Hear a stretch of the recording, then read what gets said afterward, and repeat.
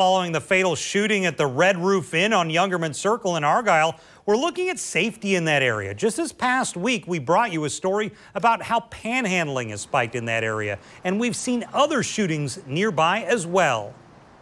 The latest police activity on Youngerman Circle involves a fatal shooting at this Red Roof Inn. And this isn't the only violence we've seen recently at a Youngerman Circle hotel just north of the Clay Duval County line. In April, officers were called to a domestic incident and fired on a suspect, killing him. That same month, we covered a major drug dealing operation that JSO took down in what was known as Operation Early Checkout. At the time, JSO told us much of the activity focused on Blanding Boulevard and Youngerman Circle. Then this past week, I was out in the area after numerous commuters complained of a spike in panhandling. I interviewed this man who says he does it along with numerous other homeless people who live in the woods. No, they, Where uh, do you live at out here? I actually live um, right over here behind the uh, Shell gas station.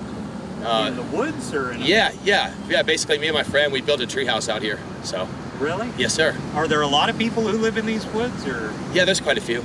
Looking at JSO's crime mapping tool in the half mile surrounding the Red Roof Inn for the past six months, we found 169 calls for service.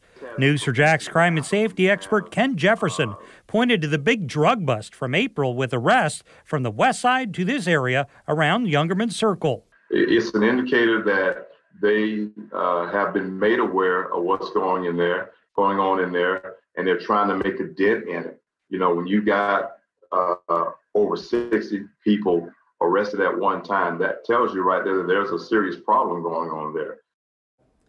One issue with the panhandling is hamstringing JSO. Look at this statement they sent me this past week over panhandling. The agency says recent changes in state and local statutes don't allow them to cite panhandlers unless they block traffic.